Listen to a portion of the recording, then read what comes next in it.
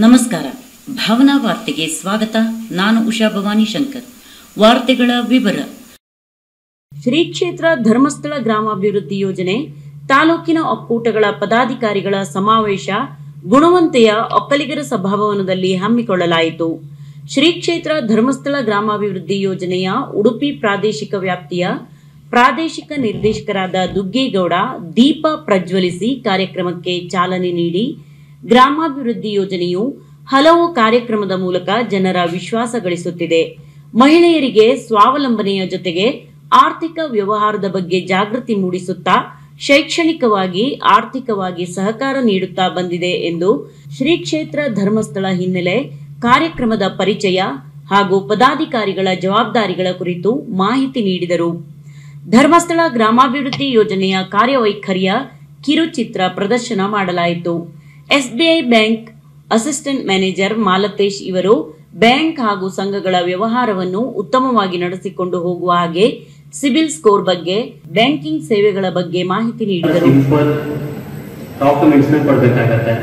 ಕೊಡ್ಬೇಕಾಗತ್ತೆ ನಿಮಗೆ ಪ್ರತಿನಿಧಿಗಳು ಹೇಳಿರ್ತಾರೆ. ಸಾಲ ಪಡೆದಾದ್ಮೇಲೆ ಪ್ರತಿಯೊಬ್ಬ ಸಂಘದವರು ಆ ಸಿಬಿಲ್ನ ಚೆನ್ನಾಗಿಟ್ಕೊಳ್ಳಿ.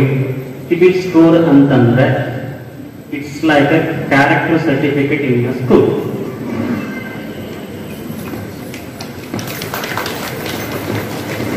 CIBIL ಎಷ್ಟು ನಿಮಗೆ ಸ್ಕೋರ್ ಜಾಸ್ತಿ ಇರುತ್ತೋ, ಅಲ್ಲಿ ನಿಮಗೆ ಯಾವುದೇ ತರ ಪ್ರಾಬ್ಲಮ್ ಬರಲ್ಲ. ಎಲ್ಲ ಬ್ಯಾಂಕಿನವರು ನಿಮಗೆ ಸಾಲ ಕೊಟ್ಟೆ ಕೊಡ್ತಾರೆ. ಬಿ ಸಿ ಪ್ರತಿನಿಧಿಗಳು ಇದ್ರ ಬಗ್ಗೆ ನಿಮಗೆ ಹೇಳಿರ್ತಾರೆ. ಆದರೂ ನಾನು ಅದ್ರ ಬಗ್ಗೆ ಮತ್ತೊಂದ್ಸತಿ ಹೇಳಿಕ್ಕೆ ಇಚ್ಛೆ ಪಡ್ತಾ ಇದ್ದೀನಿ, ಈ ವೇದಿಕೆ ಮುಖಾಂತರ. ತಮ್ಮ ಏನೇ ಒಂದು ಡೌಟ್ಸ್ಗಳಿದ್ರೆ ನಿಮ್ಮ ಎಸ್ ಕೆ ಡಿ ಆಡಳಿತದ ಪ್ರತಿನಿಧಿಗಳಾಗಲಿ ಅದರ ಅಧ್ಯಕ್ಷರಾಗಲಿ, ಅವ್ರನ್ನ ನೀವು ಮಾತಾಡ್ಬೋದು ಸಂಪನ್ಮೂಲ ವ್ಯಕ್ತಿಯಾಗಿ ಆಗಮಿಸಿದ ನಿವೃತ್ತ ಪ್ರಾಂಶುಪಾಲರಾದ ಎಸ್ ಜಿ ಭಟ್ ಮಾತನಾಡಿ ಹುಟ್ಟು ಮತ್ತು ಸಾವು ಇದರ ಮಧ್ಯೆ ನಾವು ಉತ್ತಮವಾದ ವ್ಯವಸ್ಥೆ ಇದೆ ಎಂದರೆ ನಮ್ಮ ಪೂರ್ವಿಕರು ಧರ್ಮಸ್ಥಳದ ಮೇಲೆ ಇಟ್ಟಿರುವ ಸತ್ಯ ಧರ್ಮ, ನ್ಯಾಯದ ನಂಬಿಕೆಯ ಪ್ರತೀಕವಾಗಿದೆ. ಇದನ್ನು ಯಾವತ್ತಿಗೂ ಉಳಿಸಿಕೊಂಡು ನಂಬಿಕೊಂಡು ಹೋಗೋಣ. ಇದು ಧರ್ಮಸ್ಥಳದ ಕೊಡುಗೆ ಎನ್ನುತ್ತಾ ಕಾರ್ಯಕ್ರಮದ ಪ್ರಯೋಜನಗಳ ಬಗ್ಗೆ ಮಾಹಿತಿ ನೀಡಿ ಪ್ರಯೋಜನ ಪಡೆಯಬೇಕು ಎಂದರು. ಉತ್ತರ ಕನ್ನಡ ಜಿಲ್ಲಾ ನಿರ್ದೇಶಕರಾದ ಮಹೇಶ್ ಎಂಡಿ ಒಕ್ಕೂಟದ ಜವಾಬ್ದಾರಿಯ ಬಗ್ಗೆ ಮಾಹಿತಿ ನೀಡಿದರು. ಕಾರ್ಯಕ್ರಮದ ಅಧ್ಯಕ್ಷತೆಯನ್ನು ಸ್ಥಳೀಯ ಒಕ್ಕೂಟದ ಅಧ್ಯಕ್ಷರಾದ ಲೀಲಾ ಹೆಗಡೆ ವಹಿಸಿದ್ದರು. ತಾಲೂಕಿನ ಯೋಜನಾಧಿಕಾರಿಗಳಾದ ವಾಸಂತೆ ಅಮೀನ್ ಇವರು, ತಾಲೂಕಿನಲ್ಲಿ ಸಮುದಾಯ ವಿಭಾಗಗಳಲ್ಲಿ ಮಂಜೂರಾದ ಅನುದಾನಗಳ ಅಂಕಿ ಅಂಶಗಳ ಸಾಧನಾ ವರದಿ ಮಂಡಿಸಿದರು. ಒಕ್ಕೂಟದ ಪದಾಧಿಕಾರಿಗಳು, ದಾಖಲಾತಿ ಸಮಿತಿ ಸದಸ್ಯರು, ತಾಲೂಕಿನ ಮೇಲ್ವಿಚಾರಕ ಶ್ರೇಣಿಯ ಕಾರ್ಯಕರ್ತರು, ಸೇವಾ ಪ್ರತಿನಿಧಿಗಳು ಇದ್ದರು. ಹೊನ್ನಾವರ ತಾಲೂಕಿನ ಹಳದಿಪುರ ವಲಯದ ಹೊದಿಕೆ ಶಿರೂರು ಕಾರ್ಯಕ್ಷೇತ್ರದ ಸರ್ಕಾರಿ ಪ್ರೌಢಶಾಲೆಯಲ್ಲಿ ಸ್ವಾಸ್ಥ್ಯ ಸಂಕಲ್ಪ ಕಾರ್ಯಕ್ರಮವನ್ನು ಶಾಲಾ ಮುಖ್ಯ ಶಿಕ್ಷಕಿ ರಾಜೇಶ್ವರಿ ಚಾಲನೆ ನೀಡಿದರು. ಸಂಪನ್ಮೂಲ ವ್ಯಕ್ತಿಗಳಾದ ಸೀತಾರಾಮ್ ಶಾಲೆಯ ವಿದ್ಯಾರ್ಥಿಗಳಿಗೆ ದುಶ್ಚಟದ ಬಗ್ಗೆ ಹಾಗೂ ಮೊಬೈಲ್ ಬಳಕೆಯ ದುಷ್ಪರಿಣಾಮದ ಬಗ್ಗೆ ಮಾಹಿತಿ ನೀಡಿದರು. ಮೇಲ್ವಿಚಾರಕರಾದ ರಮ್ಯಾ, ಗ್ರಾಮಾಭಿವೃದ್ಧಿ ಯೋಜನೆಯಲ್ಲಿ ಶಾಲೆಗೆ ಹಾಗೂ ಸಂಘದ ಸದಸ್ಯರಿಗೆ ಸಿಗುವ ಸೌಲಭ್ಯದ ಕುರಿತು ಮಾಹಿತಿ ನೀಡಿದರು. ಶಾಲೆಯ ಶಿಕ್ಷಕರು, ಸೇವಾ ಪ್ರತಿನಿಧಿ, ವಿದ್ಯಾರ್ಥಿಗಳು ಯೋಜನೆಯ ಫಲಾನುಭವಿಗಳಾಗಿದ್ದರು. ಯಮುನಾ ನಾಯ್ಕ್ ಅತ್ಯಾಚಾರ ಹಾಗೂ ಕೊಲೆ ಪ್ರಕರಣದ ಕೋರ್ಟ್ ಆದೇಶದಂತೆ ಶೀಘ್ರ ಮರುತನಿಖೆ ಮಾಡಲು ಒತ್ತಾಯಿಸಬೇಕೆಂದು ಶ್ರೀರಾಮ ಸೇನೆ ರಾಜ್ಯಾಧ್ಯಕ್ಷ ಗಂಗಾಧರ್ ಕುಲಕರ್ಣಿ ಒತ್ತಾಯಿಸಿದ್ದಾರೆ. ಅವರು ಭಟ್ಕಳ ನಿಶ್ಚಲಮಕ್ಕಿ ತಿರುಮಲ ವೆಂಕಟರಮಣ ದೇವಸ್ಥಾನ ಸಭಾಭವನದಲ್ಲಿ ಕರೆದ ಪತ್ರಿಕಾಗೋಷ್ಠಿಯನ್ನುದ್ದೇಶಿಸಿ ಮಾತನಾಡಿದರು. ಅಕ್ಟೋಬರ್ ಇಪ್ಪತ್ಮೂರು ಎರಡ್ ಸಾವಿರದ ಹತ್ತರಲ್ಲಿ ಇಡೀ ರಾಜ್ಯವೇ ಬೆಚ್ಚಿ ಬೀಳಿಸುವಂತಹ Yamuna Naik rape and murder case. ಈ ಪ್ರಕರಣದಲ್ಲಿ ಯಾರು ಆರೋಪಿತರಿದ್ದರು, ಅವರು ಹೇಗೆ ಬಚಾವಾದರು ಅಥವಾ ಬಚಾವ್ ಮಾಡಿದರು ಎಂದು ಗೊತ್ತಿಲ್ಲ. ಆದರೆ ಒಬ್ಬ ಅಮಾಯಕ ಕೇಸಿಗೆ ಸಂಬಂಧಿಸಿದ ವ್ಯಕ್ತಿ ವೆಂಕಟೇಶ್ ಹರಿಕಾಂತ್ ಆರು ವರ್ಷ ಎಂಟು ತಿಂಗಳು ನರಕಯಾತನೆ ಅನುಭವಿಸಿದ್ದಾನೆ. ಅವನು ಮಾಡಲಾರದ ಅಪರಾಧಕ್ಕೆ ಈ ಶಿಕ್ಷೆ ಅನುಭವಿಸಿದ್ದಾನೆ. ನಮ್ಮ ವ್ಯವಸ್ಥೆ ಹೇಗೆ ಹದಗೆಟ್ಟು ಹೋಗಿದೆ ಎನ್ನುವುದಕ್ಕೆ ಇದೊಂದು ಉದಾಹರಣೆಯಾಗಿದೆ. ಎರಡ್ ಸಾವಿರದ ಹದಿನೇಳರಲ್ಲಿ ಹೈಕೋರ್ಟ್ ವೆಂಕಟೇಶ್ ಹರಿಕಾಂತ್ ರವರನ್ನು ನಿರಪರಾಧಿ ಎಂದು ಬಿಡುಗಡೆ ಮಾಡಿದೆ. ಅಷ್ಟೇ ಅಲ್ಲದೆ ಹೈಕೋರ್ಟ್ ಇನ್ನೊಂದು ಆದೇಶ ಮಾಡಿದೆ. ಈ ಕೇಸಿನ ಮರುತನಿಖೆ ಆಗಬೇಕು ಹಾಗೂ ಅಪರಾಧಿಗಳನ್ನು ಪತ್ತೆ ಹಚ್ಚಿ ಬಂಧನ ಮಾಡಬೇಕು ಎಂದು. ಹೈಕೋರ್ಟ್ ಆದೇಶವಾಗಿ ಏಳು ವರ್ಷವಾದರೂ ಇನ್ನೂ ಆರೋಪಿಗಳ ಬಂಧನವಾಗಿಲ್ಲ ಹಾಗೂ ತನಿಖೆಯಾಗುತ್ತಿಲ್ಲ. ಯಾರನ್ನು ರಕ್ಷಣೆ ಮಾಡಲು ಹೊರಟಿದ್ದಾರೆ? ಇದರ ಹಿನ್ನೆಲೆ ಏನಿದೆ? ಈ ಕೇಸಿನ ಹಿಂದೆ ಯಾರ ಕೈವಾಡವಿದೆ? ಪೊಲೀಸ್ ಇಲಾಖೆಯನ್ನು ಏಕೆ ಕಟ್ಟಿಹಾಕಿದ್ದಾರೆ? ಎರಡ್ ಸಾವಿರದ ಹನ್ನೊಂದರಲ್ಲಿ ಈ ಪ್ರಕರಣಕ್ಕೆ ಸಂಬಂಧಪಟ್ಟಂತೆ ಲ್ಯಾಬ್ ರಿಪೋರ್ಟ್ ಬಂದಿದೆ. ಅದರಲ್ಲಿ ವೆಂಕಟೇಶ್ ಹರಿಕಂತ್ ರವರ ಪಾತ್ರ ಇಲ್ಲದಿರುವುದು ಆಗಲೇ ತಿಳಿದು ಬಂದಿದೆ. ಆದರೆ ಆ ವರದಿಯನ್ನು ಕೊಡಲು ವಿಳಂಬ ನೀತಿಯನ್ನು ಪಾಲಿಸಿ ವ್ಯಕ್ತಿಗೆ ನರಕಯಾತನೆ ನೀಡಿದ್ದಾರೆ. ಇದರಿಂದ ಕಾನೂನಿನ ಮೇಲೆ, ನ್ಯಾಯಾಂಗದ ಮೇಲೆ ಹಾಗೂ ಪೊಲೀಸ್ ಇಲಾಖೆಯ ಮೇಲೆ ಜನರಿಗೆ ತಾತ್ಸಾರ, ತಿರಸ್ಕಾರ ಭಾವನೆ ಉಂಟಾಗಿದೆ. ಇಲಾಖೆ ಹಾಗೂ ಕೋರ್ಟ್ ಈ ಬಗ್ಗೆ ಯಾಕೆ ಅರ್ಥ ಮಾಡಿಕೊಳ್ಳುತ್ತಿಲ್ಲ? ಮರು ತನಿಖೆಗೆ ಆದೇಶ ನೀಡಿ ಏಳು ವರ್ಷ ಆಗಿದೆ. ಕೋರ್ಟ್ ಪೊಲೀಸ್ ಇಲಾಖೆಗೆ ಚಾಟಿ ಬೀಸಬೇಕಿತ್ತು. ಅವರು ಸಹ ಸುಮ್ಮನಿದ್ದಾರೆ. ಏಕೆಂದು ತಿಳಿಯುತ್ತಿಲ್ಲ. ಭಟ್ಕಲ್ ಡಿಎಸ್ಪಿ ಅವರಿಗೆ ಆಗ್ರಹ ಮಾಡುತ್ತೇನೆ. ಆದಷ್ಟು ಬೇಗ ತನಿಖೆಯನ್ನು ಮಾಡಿ ಈ ಸಮಾಜದಲ್ಲಿ ಸತ್ತವರನ್ನು ಸಮಾಧಿ ಮಾಡುವ ಬದಲು ಬಡವರಿಗೆ, ಬಲಹೀನರಿಗೆ ನ್ಯಾಯ ಕೊಡಿಸುವ ಕೆಲಸವನ್ನು ಮಾಡಿ ಎಂದರು. ಯಾರು ಅಪರಾಧಗಳಿದ್ರು, ಆರೋಪಿಗಳಿದ್ರು, ಅದು ಹೇಗೆ ಬಚಾವ್ ಆದ್ರೋ, ಬಚಾವ್ ಮಾಡಿದ್ರೋ ಗೊತ್ತಿಲ್ಲ. ಆದರೆ ಒಬ್ಬ ಅಮಾಯಕ, ಕೇಸಿಗೆ ಸಂಬಂಧ ಇರಲಾರದಂತಹ ವ್ಯಕ್ತಿ ವೆಂಕಟೇಶ್ ಹರಿಕಾಂತ್ ಆರು ವರ್ಷ ಎಂಟು ತಿಂಗಳ ನರಕ ಯಾತನೆಯನ್ನು ಅನುಭವಿಸ್ಬೇಕು. ಮಾಡಲಾರ್ದ ಅಪರಾಧ ಅಂದ್ರೆ ವ್ಯವಸ್ಥೆ ಯಾವ ರೀತಿಯಾಗಿ ಕುರುಗೆಟ್ಟು ಹೋಗಿದೆ ಅನ್ನೋದಕ್ಕೆ ಇದು ಒಳ್ಳೆ ಎಕ್ಸಾಂಪಲ್ ಎರಡು ಸಾವಿರದ ಹದಿನೇಳರಲ್ಲಿ ಹೈಕೋರ್ಟ್ ವೆಂಕಟೇಶ್ ಹರಿಕಾಂತ್ ಅವರನ್ನು ನಿರಪರಾಧಿ ಅಂತೇಳಿ ಬಿಡುಗಡೆ ಮಾಡಿ ಅಷ್ಟೇ ಅಲ್ಲ, ಮುಂದುವರೆದು ಹೈಕೋರ್ಟ್ ಇನ್ನೊಂದೂ ಆದೇಶ ಮಾಡಿತು. ಇದ್ರದ್ದು ಮರು ತನಿಖೆ ಆಗಬೇಕು, ಯಾರು ಆರೋಪಿಗಳಿದ್ದಾರೆ, ಅವರ ಬಂಧನ ಆಗಬೇಕು ಅನ್ನುವಂಥದ್ದನ್ನು ಆದೇಶ ಮಾಡಿತು. ಎರಡು ಸಾವಿರದ ಹದಿನೇಳರಲ್ಲಿ ಆದೇಶ ಆಗಿದೆ, ಎರಡು ಸಾವಿರದ ಇಪ್ಪತ್ನಾಲ್ಕು. ಏಳು ವರ್ಷ ಆಯಿತು. ಏಳು ವರ್ಷ ಆದರೂ ಸಹ ಇನ್ನೂವರೆಗೂ ಅಪರಾಧಿಗಳ ಪತ್ತೆ ಆಗ್ತಾ ಇಲ್ಲ, ಆರೋಪಿಗಳ ಬಂಧನ ಆಗ್ತಾ ಇಲ್ಲ, ತನಿಖೆ ಆಗ್ತಾ. ಅಂದ್ರೆ ಯಾರು ರಕ್ಷಣೆ ಮಾಡಲಿಕ್ಕೆ ಏನು ಹಿನ್ನೆಲೆ ಇದೆ ಇದಕ್ಕೆ? ಯಾವ ಕೈಗಳು ಕೈ ಕೆಲಸ ಮಾಡ್ತಾ ಇದ್ದಾರೆ ಪೊಲೀಸ್ ಇಲಾಖೆಯನ್ನು ಯಾರು ಕಟ್ಟು ಹಾಕಿದ್ದಾರೆ ವಿಚಿತ್ರ ಅಂದ್ರೆ ಎರಡು ಸಾವಿರದ ಹನ್ನೊಂದು ನವೆಂಬರ್ನಲ್ಲಿನೇ ಲ್ಯಾಬ್ ರಿಪೋರ್ಟ್ ಬಂದಿದೆ. ಅದರಲ್ಲಿ ಇವರು ವೆಂಕಟೇಶ್ ಹರಿಕಾಂತರ ಪಾತ್ರ ಎನ್ನುವುದು ಆವಾಗಲೇ ಗೊತ್ತಾಗಿದೆ. ಆದರೆ ಒಂದು ವರದಿಯನ್ನು ಕೊಡೋದಕ್ಕೆ ವಿಳಂಬ ಮಾಡಿಕೊಂಡು ಅಷ್ಟು ವರ್ಷ ಆ ವ್ಯಕ್ತಿಗೆ ನರಕ ಯಾತ್ರೆ ಮಾಡಿಸಿರಲ್ಲ ನಿಜವಾಗೂ ಬಹಳ ಭಯಾನಕ ಅನಿಸ್ತಾ ಇದೆ. ಇದರಿಂದ ಕಾನೂನು ವ್ಯವಸ್ಥೆ ಮೇಲೆ ಪೊಲೀಸ್ ಇಲಾಖೆ ಬಗ್ಗೆ ಇವತ್ತು ಸಮಾಜದೊಳಗೆ ಬಂದಿದ್ದ ಭ್ರಮ ನಿರಸನ, ತಾತ್ಸಾರ, ತಿರಸ್ಕಾರ ಈ ಭಾವನೆ ಮೂಡ್ತಾ ಇದೆ. ಯಾಕೆ ಇಲಾಖೆಗಳಿಂದ ಅರ್ಥ ಮಾಡ್ಕೊಳ್ತಾ ಇದೆ ಕೋರ್ಟು ಸಹ ಏಳು ವರ್ಷ ಆಗಿದೆ, ಚಾಟಿ ಬೀಸಬೇಕಾಗಿತ್ತು. ಅವರು ಸಹ ಶಾಂತವಾಗಿ ಕುತ್ಕೊಂಡಿದ್ದಾರೆ. ಸೊ ಆ ಹಿನ್ನೆಲೆಯಲ್ಲಿ ಇವತ್ತು ನಾವು ಇಲ್ಲಿಯ ಡಿವೈಎಸ್ಪಿ ಅವರಿಗೆ ಆಗ್ರಹವನ್ನು ಮಾಡಬೇಕು ಅನ್ನುವಂಥದ್ದು ಯೋಜನೆ ಮಾಡಿದ್ದೀವಿ. ಈ ರೀತಿ ನೀವು ಸತ್ಯವನ್ನು ಸಮಾಧಿ ಮಾಡ್ತಾ ಹೋದ್ರೆ, ಯಾರು ಆ ಶಕ್ತಿ ಇಲ್ಲದಂಥವ್ರು ಇದ್ದಾರೆ ಅಶಕ್ತರಿದ್ದಾರೆ ಸಮಾಜದಲ್ಲಿ. ಯಾರಿಗೆ ಬೆಂಬಲ ಇಲ್ಲ ದುಡ್ಡಿಲ್ಲ ಅವ್ರಿಗೆ ಯಾವುದೇ ರೀತಿ ಸಪೋರ್ಟ್ ಇಲ್ಲ, ರಾಜಕೀಯ ಬೆಂಬಲ ಇಲ್ಲ. ಅಂಥವ್ರಾಗಲಿ ನ್ಯಾಯನೇ ಇಲ್ಲ ಈ ದೇಶದಲ್ಲಿ. ಅವ್ರಿಗೆ ನ್ಯಾಯ ಅರ್ಹರಲ್ಲ ಅವರು. ಅಂಥವ್ರ ಸಲುವಾಗಿ ಯಾರು ಧ್ವನಿ ಉತ್ತರ ಕನ್ನಡ ಜಿಲ್ಲೆಯಲ್ಲಿ ಇಂತಹ ಕೊಲೆಯ ಆರೋಪಿ ಪತ್ತೆಯಾಗದಿರುವುದು ಐದಾರು ಪ್ರಕರಣಗಳು ಆಗಿವೆ. ಚಿತ್ತರಂಜನ್, ತಿಮ್ಮಪ್ಪ ನಾಯ್, ಪರೇಶ್ ಮೇಸ್ತಾ, ಯಾವ ಕೇಸುಗಳಿಗೂ ಇವತ್ತಿನವರೆಗೂ ನ್ಯಾಯ ಸಿಗಲಿಲ್ಲ. ಈ ಎಲ್ಲಾ ಕೇಸುಗಳು ರಾಷ್ಟ್ರಮಟ್ಟದಲ್ಲಿ ಚರ್ಚೆಯಾದಂತಹ ಕೇಸ್ಗಳಾಗಿವೆ. ಈ ಜಿಲ್ಲೆಯಲ್ಲಿ ಇಂತಹ ಸಾವುಗಳಿಗೆ ನ್ಯಾಯ ಇಲ್ಲ. ಕೊಲೆಗಡುಕರು, ಅಪರಾಧಿಗಳು, ರೇಪಿಸ್ಟರು ಆರಾಮವಾಗಿರುವಂತಹ ವ್ಯವಸ್ಥೆ ಈ ಜಿಲ್ಲೆಯಲ್ಲಿ ಆಗುತ್ತಿದೆ. ಸಮಾಜದಲ್ಲಿ ಈ ವಿಷಯದ ಬಗ್ಗೆ ಜಾಗೃತಿಯನ್ನು ಮೂಡಿಸುವ ಹಾಗೂ ಮುಂದಿನ ದಿನಗಳಲ್ಲಿ ಈ ಎಲ್ಲಾ ಕೇಸ್ಗಳ ಬಗ್ಗೆ ಹೋರಾಟ ಮಾಡುವ ಬಗ್ಗೆ ತೀರ್ಮಾನ ಕೈಗೊಳ್ಳುತ್ತೇವೆ. ಅನ್ನೋದು ಒಂದು ಐದಾರು ಕಾಣಿಸ್ತಾ ಇದೆ. ಡಾಕ್ಟರ್ ಹತ್ಯೆ ಇವತ್ತಿನವರೆಗೂ ನ್ಯಾಯ ಇಲ್ಲ. ಪರೇಶ್ ಮೆಸ್ತ ಹತ್ಯೆ ಆಯಿತು. ಇವತ್ತಿನವರೆಗೂ ನ್ಯಾಯ ಇಲ್ಲ. ತಿಮ್ಮಪ್ಪ ನಾಯಕ್ ಹತ್ಯೆ ಆಯಿತು. ಇವತ್ತಿನವರೆಗೂ ನ್ಯಾಯ ಇಲ್ಲ. ಇವರೆಲ್ಲ ರಾಷ್ಟ್ರ ಮಟ್ಟದೊಳಗೆ ಶಬ್ದ ಮಾಡಿದಂಥ ಘಟನೆಗಳಿವು ಡಾಕ್ಟರ್ ಚಿತ್ತರಂಜನ್ ಅವ್ರ ಘಟನೆ ಅಂತೂ ಇಡೀ ದೇಶ ಬೆಚ್ಚಿಬಿದ್ದಿತ್ತು ಒಬ್ಬ ಶಾಸಕರು, ಪ್ರಚಂಡ ವ್ಯಕ್ತಿ, ತಿಮ್ಮಪ್ಪ ನಾಯಕರ ಕಾರ್ಯಕ್ಕೆ, ಇದಕ್ಕೆ ಅಂತಿಮ ಸಂಸ್ಕಾರಕ್ಕೆ ರಾಷ್ಟ್ರೀಯ ಬಿಜೆಪಿ ನಾಯಕರೆಲ್ಲ ಬಂದು ಹೋಗಿದ್ರು. ಪರೇಶ್ ಮೇಸ್ತಾಂತಂತೂ ಇಡೀ ಸಮಾಜ ರಸ್ತೆಗಳಿದಿತ್ತು, ಭಾರತೀಯ ಜನತಾ ಪಾರ್ಟಿ ರಸ್ತೆಗಳಿದಿತ್ತು. ಆದರೂ ಸಹ ಅಂದರೆ ಈ ಜಿಲ್ಲೆಯಲ್ಲಿ ಇಂಥ ಸಾವುಗಳಿಗೆ ನ್ಯಾಯ ಇಲ್ಲ.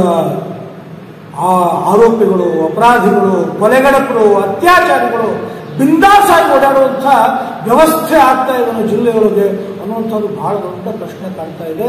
ಅಸುರಕ್ಷತೆ ಕಾಡ್ತಾ ಇದೆ ಸಮಾಜಕ್ಕೆ. ಒಂದು ಕಡೆಗೆಲ್ಲೋ ಕಾನೂನು ಅಪಮಾನ ಅನಿಸ್ತಾ ಇದೆ.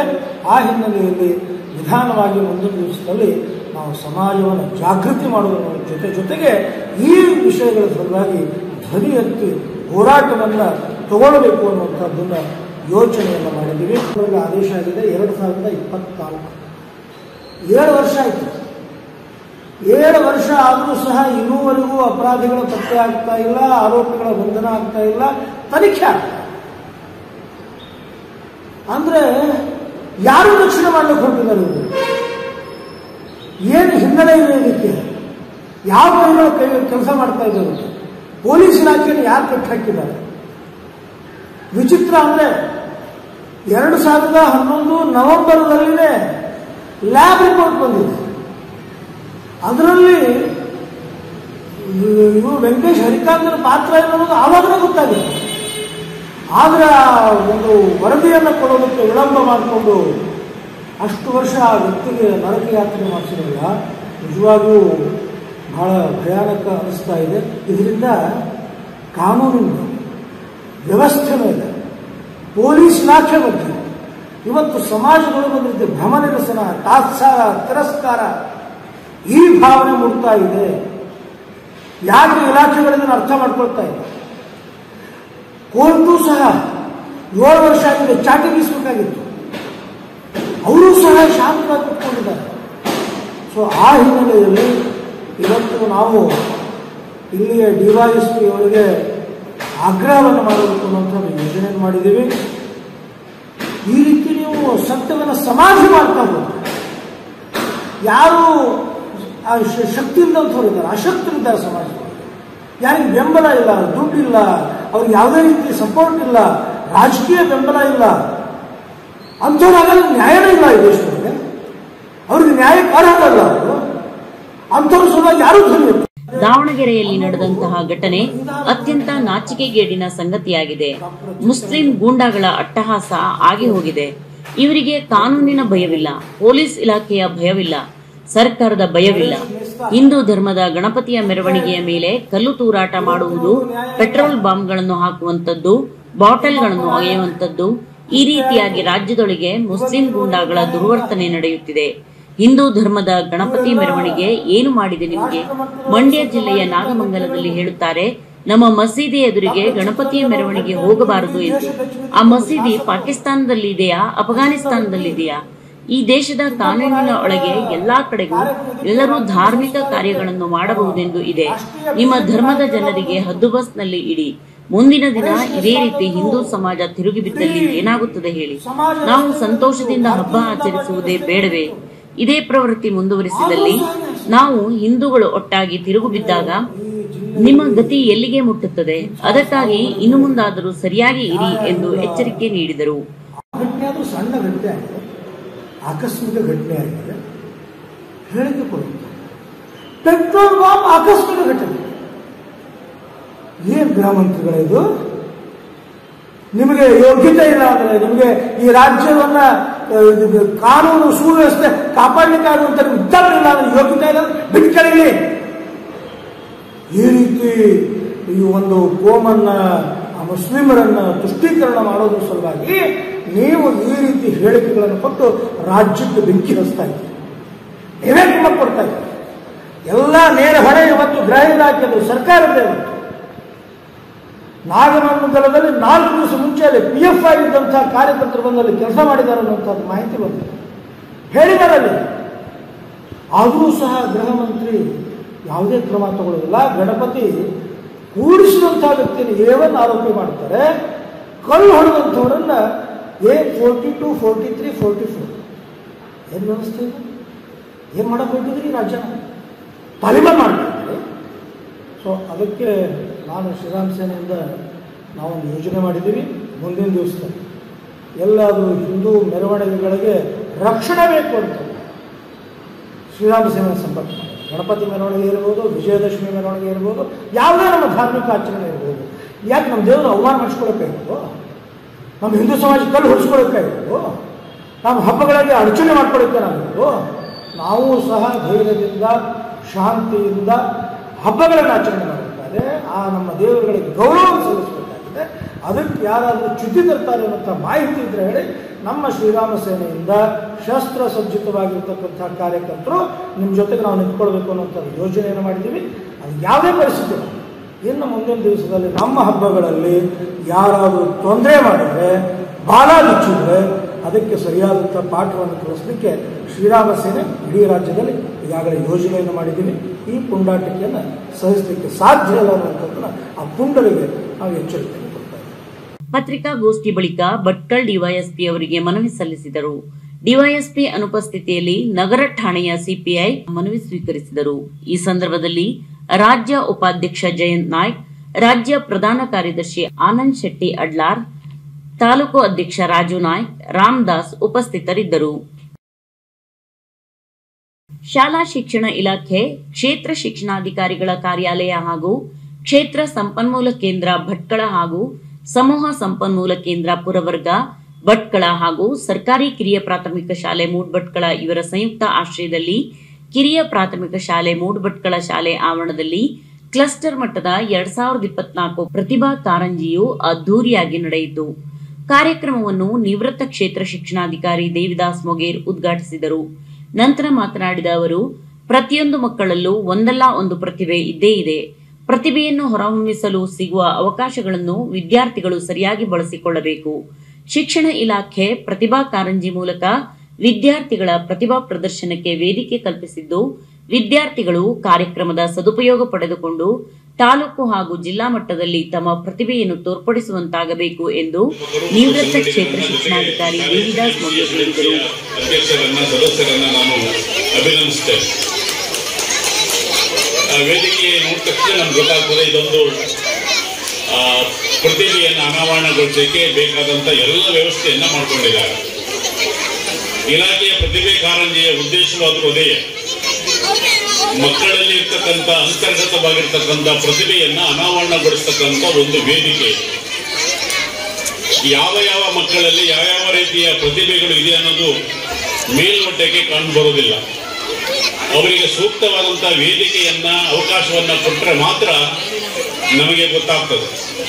ಮತ್ತು ಆ ಮಕ್ಕಳಿರ್ತಕ್ಕಂಥ ಪ್ರತಿಭೆಯನ್ನ ಗುರುತಿಸಿ ಅವರವರ ಶಾಲೆಯ ಶಿಕ್ಷಕರು ಮತ್ತು ಪಾಲಕರು ಸೇರಿ ಅವರಿಗೆ ಸರಿಯಾದಂಥ ಮಾರ್ಗದರ್ಶನವನ್ನು ನೀಡಿದರೆ ಮಕ್ಕಳು ತಮ್ಮ ಬದುಕಿನಲ್ಲಿ ಅತ್ಯುತ್ತಮವಾದಂಥ ಸಾಧನೆ ಮಾಡಲಿಕ್ಕೆ ಅವಕಾಶಗಳಾಗ್ತದೆ. ಹಾಗಾಗಿ ಶೈಕ್ಷಣಿಕ ಚಟುವಟಿಕೆ ಅಂದರೆ ಕೇವಲ ಓದುವುದು, ಬರೆಯುವುದು ಮಾತ್ರವಲ್ಲ ಅದರ ಜೊತೆಗೆ ವ್ಯಕ್ತಿತ್ವ ನಿರ್ಮಾಣಕ್ಕೆ ಒಂದು ಅವಕಾಶವನ್ನು ಕೊಡ್ತಕ್ಕಂಥದ್ದು. ಎಲ್ಲರೂ ಸಹಿತ ಓದಿ ಡಾಕ್ಟರ್ ಆಗಲಿಕ್ಕೆ ಇಂಜಿನಿಯರ್ ಆಗಲಿಕ್ಕೆ ಸಾಧ್ಯ ಆಗುವುದಿಲ್ಲ ಕಲೆಯಲ್ಲೂ ಸಹಿತ ತಮ್ಮ ಅಪಾರವಾದಂಥ ಜ್ಞಾನವನ್ನ ಅಥವಾ ಗಳಿಸಿ ಉತ್ತಮವಾದಂಥ ಸ್ಥಾನಮಾನ ಗಳಿಸಲಿಕ್ಕೆ ಅವಕಾಶಗಳಿದೆ. ಕ್ರೀಡೆಯಲ್ಲಿ ಇದೆ. ಹಾಗಾಗಿ ಶಿಕ್ಷಣ ಇಲಾಖೆ ಎಲ್ಲ ಶಿಕ್ಷಣ ಚಿಂತಕರ ಮತ್ತು ಜನಪ್ರತಿನಿಧಿಗಳ ಒಂದು ಮುಂದಾಲೋಚನೆ ಅಡಿಯಲ್ಲಿ ಈ ಕಾರ್ಯಕ್ರಮವನ್ನು ಸಂಘಟನೆ ಮಾಡ್ತಾ ಬಂದಿದ್ದಾರೆ. ಈ ಕಾರ್ಯಕ್ರಮ ಸಾಧಾರಣವಾಗಿ ಇಲಾಖೆಯಿಂದ ಬರತಕ್ಕಂಥ ಹಣ ಬಹಳ ಕಡಿಮೆ. ಆದರೆ ಯಾರ ಸಂಘಟನೆ ಸ್ಕೂಲ್ ಅವರು ಮತ್ತು ಅಲ್ಲಿ ಎಚ್ ಡಿ ಎಂ ಸಿ ಅವರು ಒಗ್ಗಟ್ಟಿನಲ್ಲಿ ನಿಂತರೆ ಎಷ್ಟು ಉತ್ತಮವಾಗಿ ಮಾಡಬಹುದು ಅನ್ನೋದಕ್ಕೆ ಒಂದು ಮಾದರಿಯಾಗಿ ಈ ಮೂಡ್ಬಟ್ಟದವರು ಮಾಡಿದ್ದಾರೆ. ಮುಟ್ಟಳ್ಳಿ ಗ್ರಾಮ ಪಂಚಾಯತ್ ಅಧ್ಯಕ್ಷೆ ರಜನಿ ನಾಯ್ಕ್ ವಹಿಸಿದ್ದರು.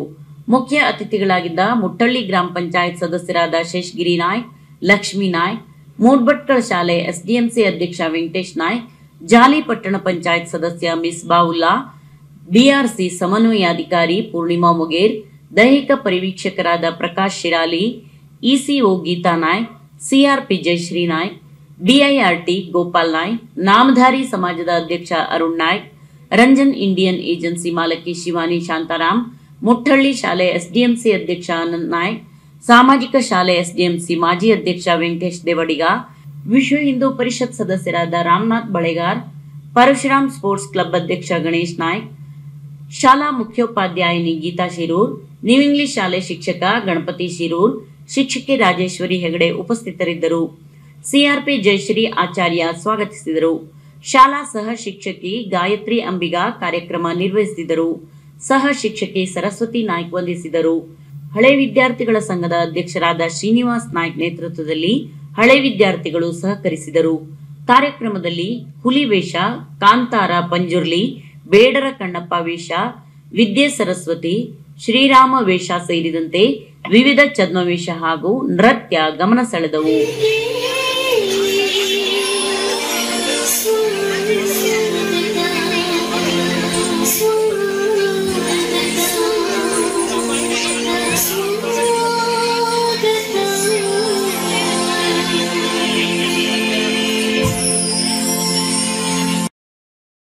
ಅಂತಾರಾಷ್ಟ್ರೀಯ ಕಡಲ ಸ್ವಚ್ಛತಾ ಕಾರ್ಯಕ್ರಮ ಹಿನ್ನೆಲೆಯಲ್ಲಿ ಆರೋಗ್ಯ ಭಾರತಿ ಮತ್ತು ಶ್ರೀ ಸಿದ್ಧಿವಿನಾಯಕ ಯುವಕ ಮಂಡಲ ಜಾಲಿ ಸಹಭಾಗಿತ್ವದಲ್ಲಿ ರವಿವಾರ ಬೆಳಿಗ್ಗೆ ಜಾಲಿ ಸಮುದ್ರ ತೀರವನ್ನು ಸ್ವಚ್ಛ ಮಾಡುವ ಮೂಲಕ ಶ್ರಮದಾನ ಮಾಡಿದರು. ಯುವಕ ಸಂಘದ ಅಧ್ಯಕ್ಷರು, ಸರ್ವ ಸದಸ್ಯರು ಸೇರಿ ಸಮುದ್ರದ ದಂಡೆಯಲ್ಲಿ ಇರುವ ಕಸ, ಕಡ್ಡಿ, ತ್ಯಾಜ್ಯ ವಸ್ತುಗಳನ್ನು ಸ್ವಚ್ಛಗೊಳಿಸುವುದರ ಜೊತೆಗೆ ಅಲ್ಲೇ ನೆರೆದಿದ್ದ ಸ್ಥಳೀಯ ಯುವಕರಿಗೆ ಪ್ಲಾಸ್ಟಿಕ್ ಬಳಕೆ ಹಾಗೂ ಪರಿಸರಕ್ಕೆ ಎಷ್ಟು ಹಾನಿಕಾರಕ ಎನ್ನುವ ಮಾಹಿತಿಯನ್ನು ನೀಡಲಾಯಿತು. ಆದಷ್ಟು ಎಲ್ಲರೂ ಪ್ಲಾಸ್ಟಿಕ್ ವಸ್ತುಗಳ ಬಳಕೆ ಕಡಿಮೆಗೊಳಿಸಿ, ಸ್ನೇಹಿ ವಸ್ತುಗಳನ್ನು ಬಳಸಿ ಎನ್ನುವ ಸಂದೇಶ ನೀಡಲಾಯಿತು. ಈ ಯಶಸ್ವಿ ಕಾರ್ಯಕ್ರಮಕ್ಕೆ ಪಟ್ಟಣ ಪಂಚಾಯಿತಿ ಜಾಲಿ ಇವರು ಸ್ವಚ್ಛ ಭಾರತ್ ಮಿಷನ್ ವತಿಯಿಂದ ವಾಹನ ಸೇವೆ, ಜೊತೆಗೆ ಗ್ಲೌಸ್, ಇನ್ನಿತರ ಅಗತ್ಯ ವಸ್ತುಗಳನ್ನು ನೀಡಿದ್ದರು. ಈ ಕಾರ್ಯಕ್ರಮದಲ್ಲಿ ಜಾಲಿ ಪಟ್ಟಣ ಪಂಚಾಯಿತಿ ಸದಸ್ಯರಾದ ದಯಾನಂದ್ ನಾಯ್ಕ್ ಯುವಕ ಸಂಘದ ಅಧ್ಯಕ್ಷರು ಸಂಕೇತ್ ಆಚಾರ್ಯ, ಗಜು ನಾಯ್ಕ್, ವಸಂತ್ ನಾಯ್ಕ್, ಇತರ ಪ್ರಮುಖರು ಭಾಗಿಯಾಗಿದ್ದರು. ನಂತರ ಬಳಿಕ ಗಣೇಶ್ ನೇತ್ರಾಲಯ Bhatkal, Nayaka health centre, Arogya Bharati, Amitaksha Yoga trust Bhatkal, Adamya Sankalpa Pratishthana Bhatkal, Shri Siddhivinayaka Yuvaka Mandala Jali, social work team Jali, ಇದರ ವತಿಯಿಂದ ವೆಂಕಟೇಶ್ವರ ನಾಮಧಾರಿ ವಿದ್ಯಾವರ್ಧಕ ಸಭಾಭವನ ಜಾಲಿಯಲ್ಲಿ ಕಣ್ಣಿನ ತಪಾಸಣಾ ಶಿಬಿರ ಆಯೋಜಿಸಿದ್ದು ಸ್ಥಳೀಯ ಸಾರ್ವಜನಿಕರು ಇದರ ಸದುಪಯೋಗ ಪಡೆದುಕೊಂಡರು.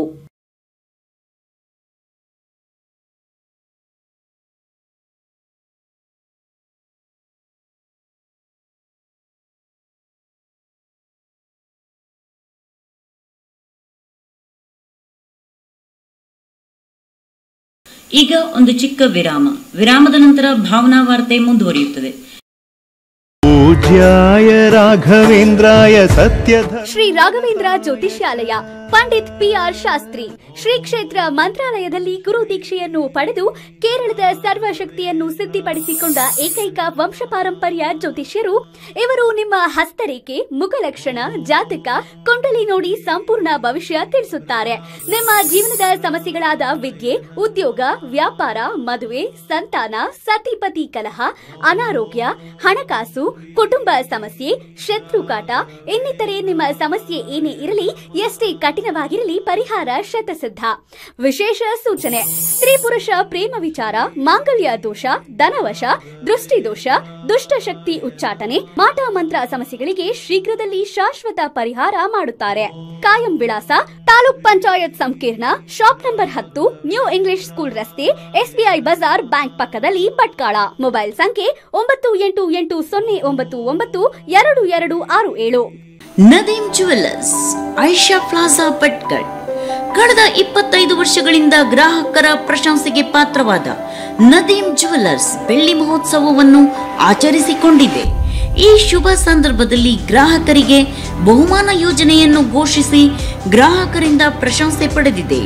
ನಮ್ಮಲ್ಲಿ ನೈನ್ ಒನ್ ಸಿಕ್ಸ್ ಹಾಲ್ಮಾರ್ಕ್ ಚಿನ್ನದ ಆಭರಣಗಳು ವಿವಿಧ ರೀತಿಯ ಹೊಚ್ಚ ಹೊಸ ಡಿಸೈನ್ನಲ್ಲಿ ದೊರೆಯುತ್ತದೆ. ಬನ್ನಿ ನಿಮಗಿಷ್ಟವಾದ ಆಭರಣ ಖರೀದಿಸಿ ಧರಿಸಿ ಸಂಭ್ರಮಿಸಿ.